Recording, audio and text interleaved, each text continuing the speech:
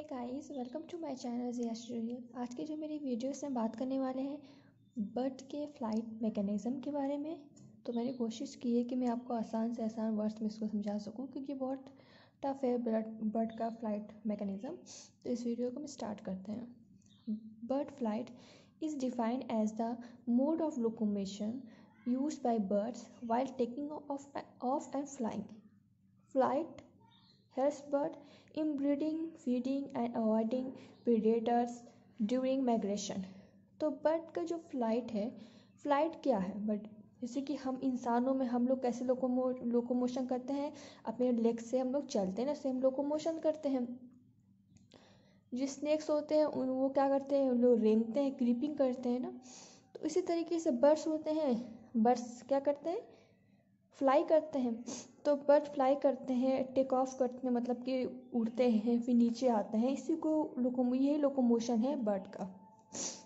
हमने समझ लिया कि बर्ड में लोकोमोशन क्या होता है। इसके बाद हम इसके फ़िज़िकल फीचर्स के बारे में जानेंगे। Light weight smooth feathers this reduce the force of weight and drag इनका वेट कैसा होता है? लाइट वेट होता है। इनके फेदर्स कैसे होते हैं? स्मूथ होते हैं, जो कि इनके वेट को कम करता है और ड्रैग को भी कम करता है। जब जो बर्ड्स होती हैं, अपने फेदर्स को विंग्स को फ्लैप करके आगे की ओर बढ़ती हैं मोशन करती हैं आगे की ओर तो उनके पीछे की तरफ़ अपोजिट डायरेक्शन में एक फोर्स लगता है, जिसको हम ड्रैग बोलते हैं। A beak instead of having bony jaws and teeth this introduce the force of weight beak होती है टीथ नहीं होता है तो बीक क्या है कि टीथ के मुकाबले तो लाइट वेट हो गई और तीत क्या होती है? बी के मुकाबले हैवी वेट होती है।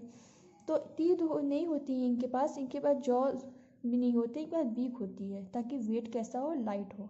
ये भी इनके वेट को क्या करता है? फोर्स ऑफ़ वेट को कम करता है।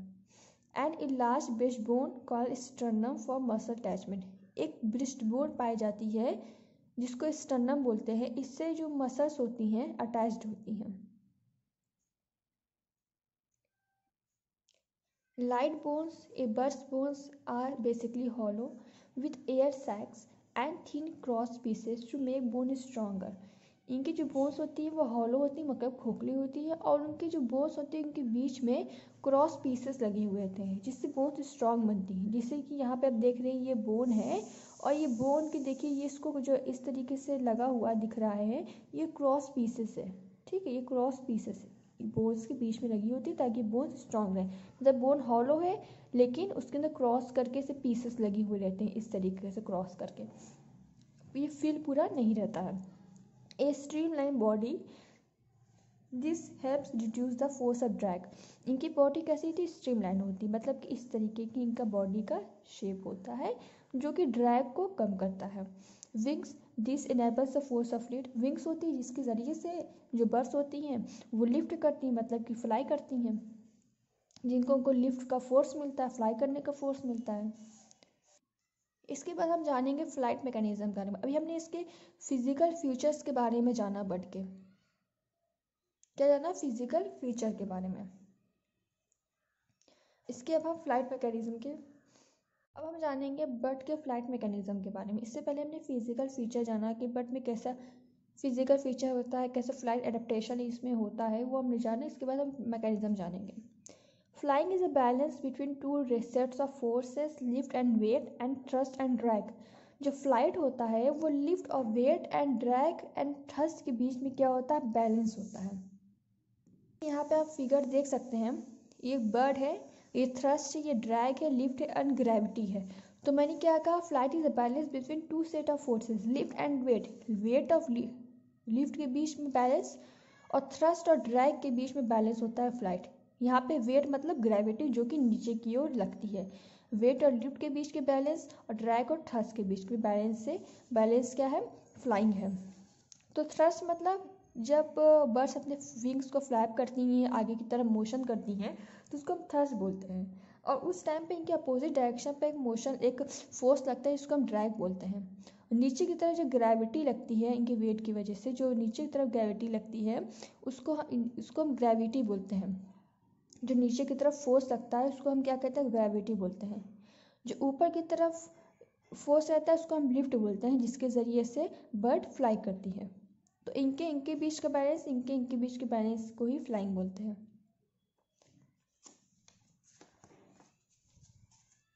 Weight is the result of gravity. Weight क्या है? रिज़ल्ट ग्रेविटी का रिज़ल्ट है। And lift is generated by the flow of air over the wings. मतलब लिफ्ट क्या है? लिफ्ट कब जनरेट होगा? जब विंग्स के ऊपर एयर फ्लो करेगी, जब बर्ड्स अपने विंग्स को फ्लैप करेंगी और उनके ऊपर से एयर जब फ्लो करेगी, एयर गुजरेगी, उसी से लिफ्ट जनरेट होता है, उसी से बर्ड्स क्या होती हैं? उठती हैं आसमान में और फ्लाई करती हैं।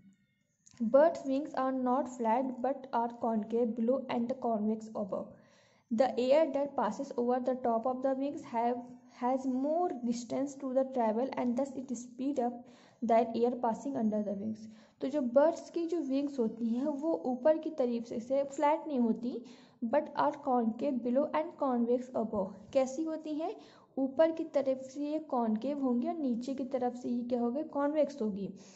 कॉन्वेक्स एबो एंड कॉन्केव नीचे।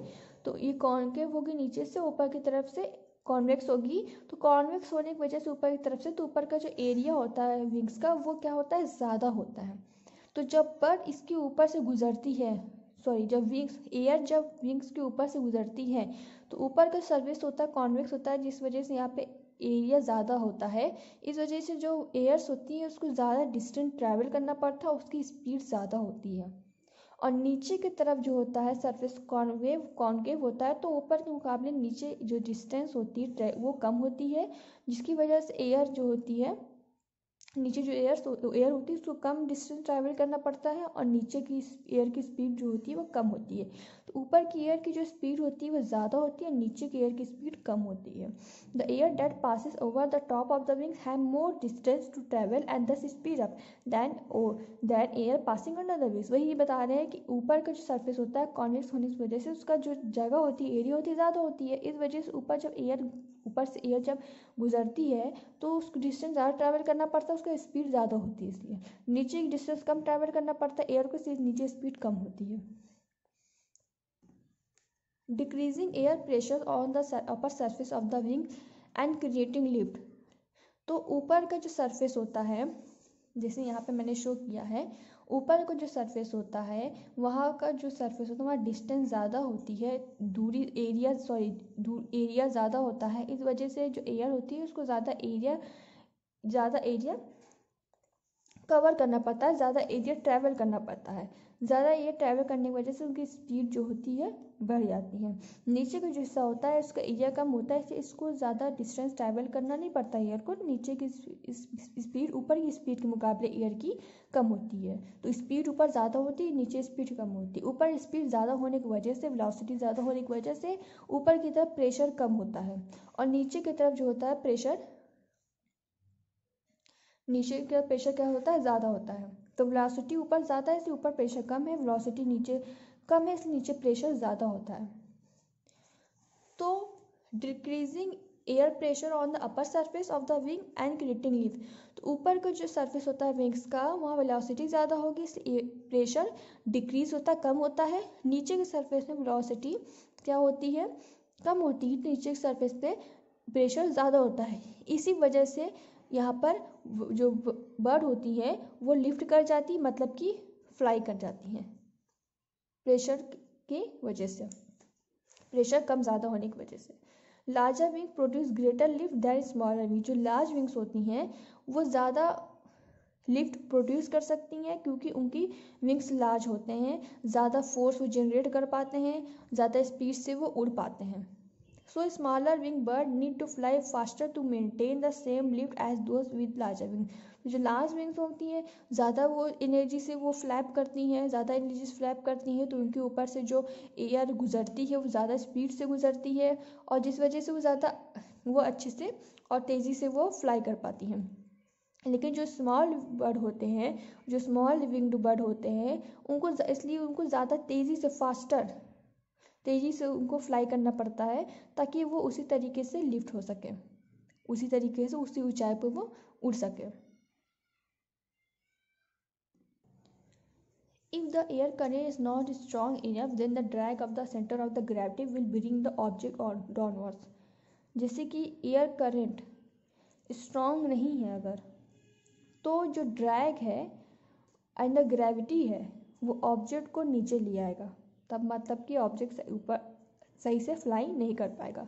It means that in order to remain suspended in air there must be enough force to negate the drag force मतलब कि अगर एयर करंट ज़्यादा नहीं है एयर करंट ज़्यादा स्ट्रॉन्ग नहीं है एयर करंट ज़्यादा स्ट्रॉन्ग नहीं है तो उस सिचुएशन में जो ड्रैग है, जो ग्रेविटी है, वो ऑब्जेक्ट को नीचे ले आएगा मतलब बर्ड को नीचे ले आएगा।